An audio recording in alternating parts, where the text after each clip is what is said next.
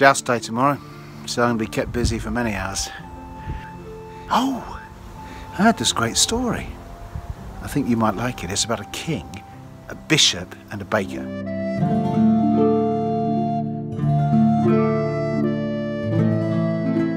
Now, in this story, the king is King John.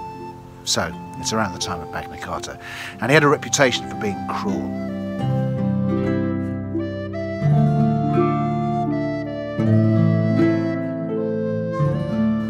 King John was on his travels, and as he always did when he was on his travels, he took with him his pride and joy, his pack of hunting hounds.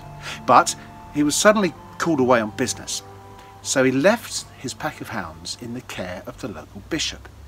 Now, this bishop was a vain and a proud man, and very, very greedy, but a man who would never do anybody a favour unless it served his own interests. So when King John's servants delivered the hounds, well, the bishop had them put into a kennels and they forgot about them.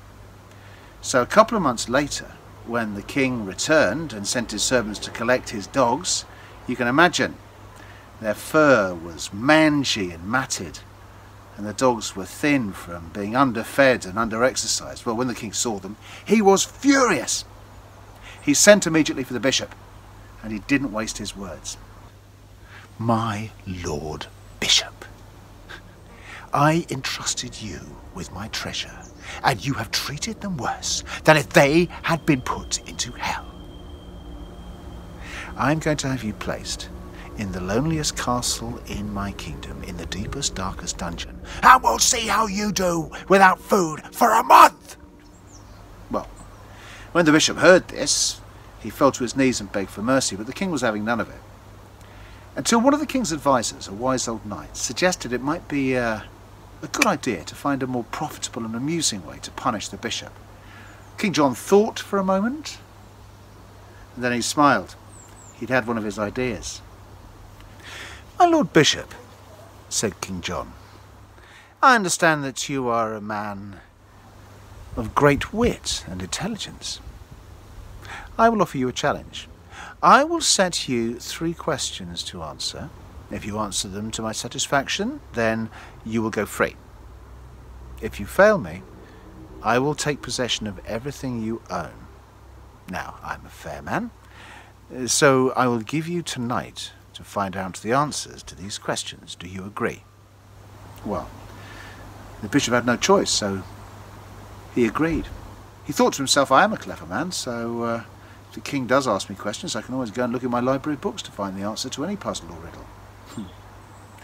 The king called the bishop forward and whispered the questions in his ear. When the bishop heard the questions, his face grew pale, his knees started to knock, and tears ran down his face. So we are agreed then, said King John. I look forward to seeing you in the morning.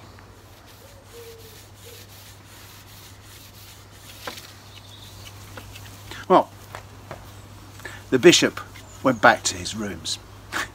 He was crying his eyes out. His servants didn't know what to do until one of them stepped forward and asked him what the matter was, and he explained the situation. The servant looked thoughtful and said, My Lord Bishop, I think I might have an idea to get you off the hook.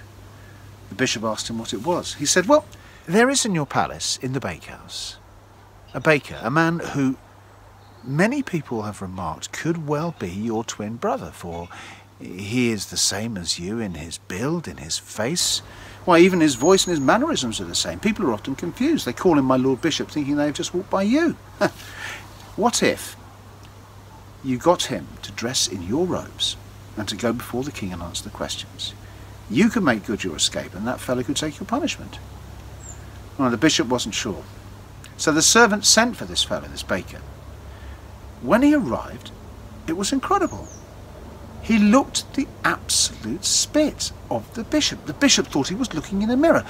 He got the baker to exchange clothes with him so that he was dressed in the baker's apron and the baker was dressed in his robes. Now, it was incredible. You couldn't tell them apart. The bishop began to think the plan might just work. Uh, my fine fellow, the bishop said to the baker, the reason I have called you here and we have exchanged our clothes is that uh, I have a jest for you to take part in. Uh, the king and I, as you know he is staying here, well, we have a contest between us, a challenge, if you like. And we set each other three questions a day. Tomorrow it's my turn, but unfortunately I've been called away on very, very important church business. I was wondering if you would take my place and answer the king's questions. Hmm. Well, the baker was a kind-hearted fellow, but he wasn't a fool. What are the questions, my lord bishop, he said. Oh, they are very, very easy, said the bishop. If you agree, I will tell you. Baker thought to himself for a moment. Purse of gold. Very well, my lord bishop, I agree. Tell me the questions. Well, the bishop said, they're very, very easy. I would advise you tomorrow morning, when you go before the king, stand in the shadows so he doesn't see you clearly. And uh, as to the questions, they are very, very straightforward. One, how much water is there in the kingdom of England? Two, how far is it to heaven? Three, what to the nearest penny is the king worth? There you are. Now, I really must be on my way. And with that, the bishop left. Hmm. Thought the baker to himself. Tricky. I'll sleep on it.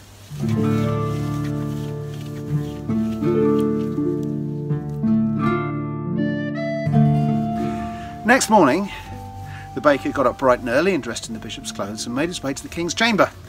The king was waiting for him. Ah, my lord bishop, he said, do come forward. Which the baker did, but he was very careful to make sure that he stood just beside a column so that there was a shadow thrown over him. Good morning, my Lord Bishop, said King John. I trust you slept well. And thank you, my Lord King. So, the matter of the questions, said King John, a cruel smile on his face. Number one, how much water is there in my kingdom of England? The baker looked puzzled for a moment.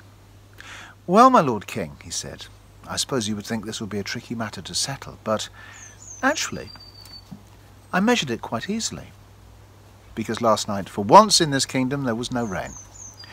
I had to calculate the amount of water that ran down the rivers and into the sea, but I, I balanced that with the amount of water in the morning dew.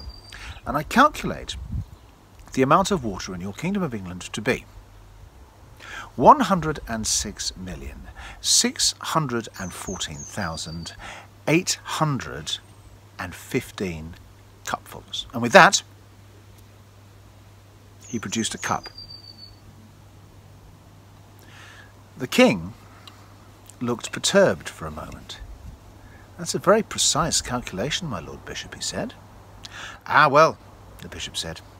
I measured it myself. King John looked suspicious. But how do I know that you're right? Uh, an easy matter, my lord king. I will happily give you this cup, and you can take yourself out to, tonight and measure for yourself. Well, the king knew that he was being played. But it was only the first question. Very well, my lord bishop, he said, I'll give you that one. But now the second question. My lord bishop, how far is it to heaven?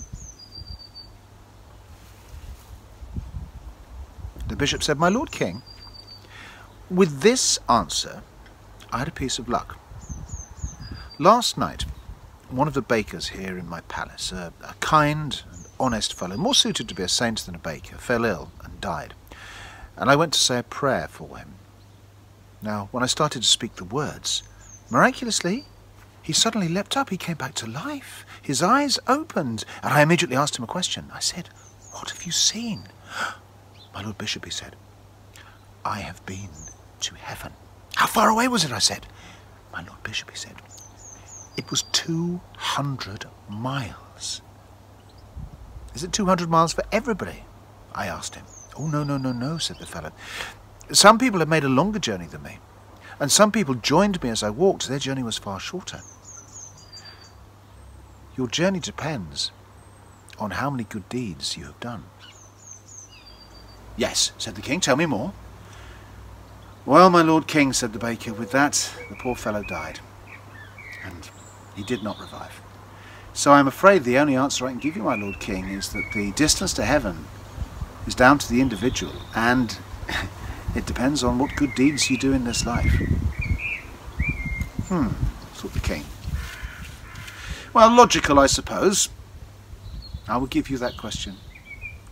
But the third I will not be so generous, for I know my own value. My Lord Bishop, what am I worth?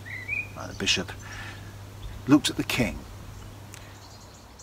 My Lord King, he said, I know that you are a man of wealth. You have gold, you have silver, you have jewels, you have furs, you have silks. So this was a difficult thing to calculate. But I have an answer for you. My Lord King, I calculate your worth to be 29 pence. How dare you? 29 pence. That's less than two and a half shillings. That's, that's less than the cost of the shoes on my feet. You have just talked your way, my Lord Bishop, into a dungeon. My Lord King, said the baker, please. I calculate your value and your worth like this. As you'll know in the Bible, when Judas Iscariot betrayed Jesus, he was given a purse of coins. Thirty silver coins was the price of his betrayal. My Lord King, I honour you at one silver coin less than God. Well, the king rubbed his nose. He thought for a moment, and then he started to laugh. this, this bishop, I had heard that he was proud and haughty. And yet I talk to him now and find him to be the wittiest, wisest man in my kingdom. My Lord Bishop, come forward. Come forward. You have won. Well, the baker forgot himself and did just that. He stepped forward out of the shadow of the column and into the light. King John stared at him. You are not the bishop. So, my fine fellow, tell me who you are and tell me what is going on, or you will find yourself thrown into a dungeon from which you will never emerge. Speak now. The baker knew the game was up, so he fell upon his knees before King John and told him the whole story of how the bishop had summoned him, dressed him in his robes, told him the questions, and how he'd gone away and thought of answers, thinking that the whole thing was just for the king's amusement. King John looked at him You are by far the wisest, wittiest, most honest man in my kingdom. What to do with you? From this day forth, you will continue to wear the robes that you now wear, and you will be a bishop. The bishop, when he is apprehended, will be brought back here to his palace, where he shall be put to work baking bread in the kitchens. So that, my friend, is how a baker became a bishop. Right, I've got to get back to work. So have you. I'll talk to you soon.